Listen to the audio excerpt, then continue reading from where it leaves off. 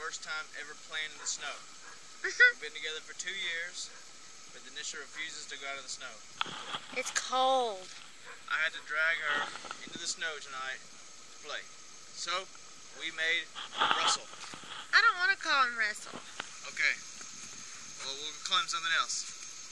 But How about um Paul? Okay, Paul. He has camouflage hat, uh, beer pong balls for eyes, cut in half, and uh, He's waving. he's waving. He's saying, "Hi, y'all." I might want to back and show you everything about it. Shut up. I just think that's. Hey, check this out. Ow! You in the face. That was a really good shot. anyway, Ow! playing in the snow. You. That's Denisha's face after I hit her with a snowball. Okay. It's pretty dang good looking snowman. The lights in my truck are pretty bright, so you can't hardly see it. Sorry, I had to duck snowball.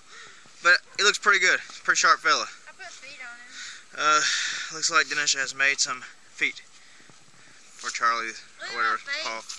Uh, Denisha's face when I hit her with a snowball. Poor girl. Oh, he's bright. Here's a side angle of him. You're in the, in the light. you gotta get just the right angle. There he is. Cool dude.